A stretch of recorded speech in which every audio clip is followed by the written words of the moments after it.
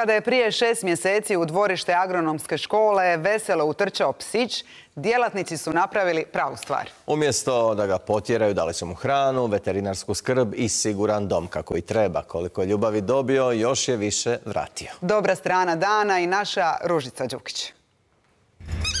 Ovo je Aš, ima 8 kg, 8 godina, ali 480 prijatelja. I nijednog od njih nikad nije procjenjivao po marki tenisica ni mobitela koje imaju. Ne zanima ga ni čime im se bave roditelji, kakav automobil voze, koliko tko kilograma ili lajkova ima. Ni to kako su napisali test, nije njegova briga. Njemu je jedino važno svakome od njih pružiti ljubav. Dođem tu, poigram se malo s njim, pozdravim ga, odlično je. Nikad nisam vidjela živjeg psa od njega, inače imam doma isto psa, on s njim se može igrati minuta. Jako mi je drago što smo ga domili, što smo ga spasili. Također mi je drago što pod praksom možemo se igrati s njime i eto. Ime nosi po svojoj školi, A kao agronomska, Š kao škola, Aš. Je li on najbolji učenik? Pa da li je najbolji, još nije završila školska godina, ali nadamo se da će biti među najboljima.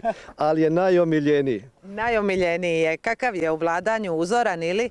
On je vrlo dinamičan, ali jako voli djecu, voli sve ljude i imamo osjećaj kao je tu s nama od njegovog rođenja. A u stvari je tek šest mjeseci. Jel trebaš pomoć da ti pridržim, a?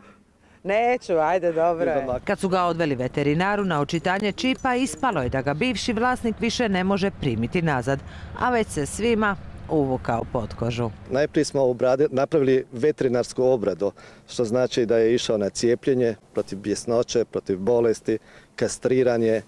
E, onda smo prionuli građevinskim radovima, opremanju, pa smo tako u ovom školskom dvorištu napravili e, ogradu za njega. Ogradili smo prostor nekih 80 kvadratnih metara. Da Živiš u više kvadrata nego ja.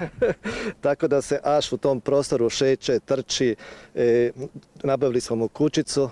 U ljeti smo mu nabavili jedan veliki bazen u kojem se on kupao. Još se mudrac uvalio ravnatelju i kući. Petkom prije vikenda, kad u školi nema nikog, on odlazi k njemu. Njegovo udomljenje, kaže ravnatelj, nije samo dobro dijelo, nego i poruka učenicima. Nažalost ima dosta te neizbrinute ih ljubimaca koji su napušteni i koji šetaju ulicama, pa kao netko od njih danas sutra udomi jednog psa, mislim da smo napravili veliku stvar a mi u nečem pogriješili. Aš je u ovoj priči ipak prije učitelj nego učenik. Ne predaje nijedan predmet, ali kao nitko drugi uči mlade što je strpljenje, vjernost, bezuvjetna ljubav i pravo prijateljstvo.